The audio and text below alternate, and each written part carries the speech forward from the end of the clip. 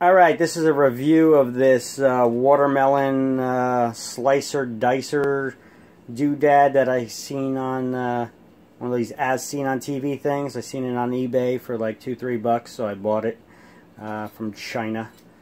Okay, so this is the way that it works. It's got a little pin over here. When you squeeze the handle, it just rides along that pin. Alright. This pin is actually used for cutting the watermelon. So I'm going to show you. First you got to take it this way because there's no instructions that came with it. And you got to dig it in this way and scoop down and around and lift up.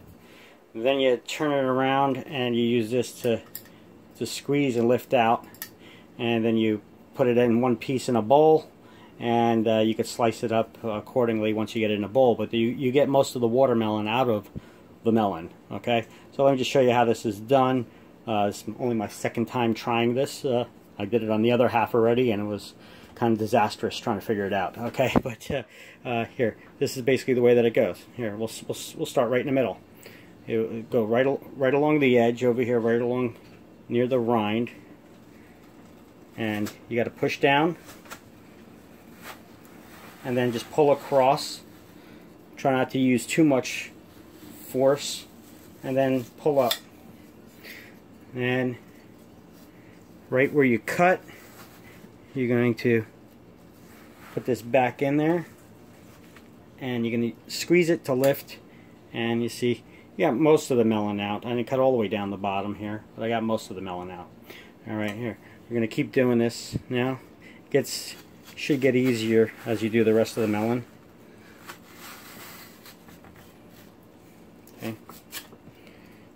Got a piece of the rind over here this time. Alright. See that?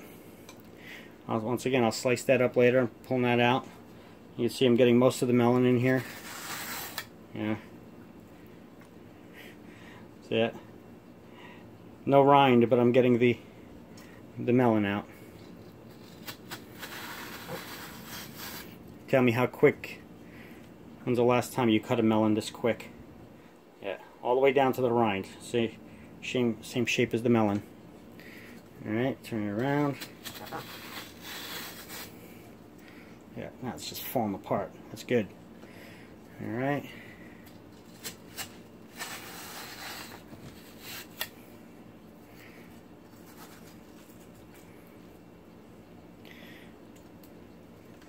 Great, huh? As you're pushing down and, and pulling up, you got to try not to squeeze because when you squeeze, these go together and you're not going to cut out a good enough uh, shape. You're going to start cutting narrow. So you got to remember, you're, when you're pushing down, you're just pushing down and then and pulling without squeezing, okay? If you squeeze, it's going to screw things up. All right? Look at that.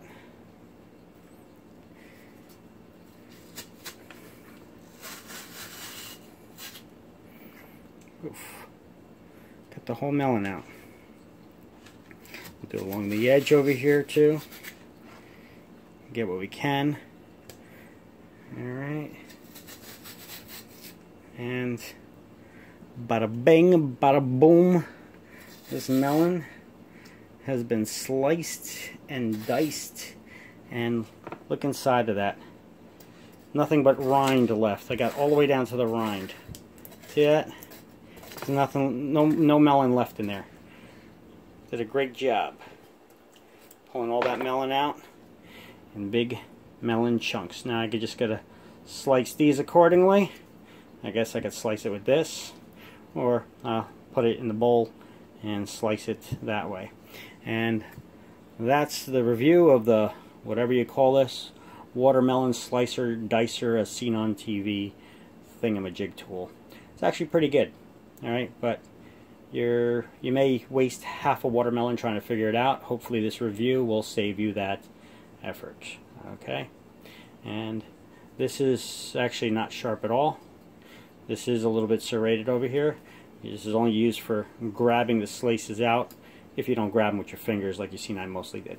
Alright and that's it. Hope this helps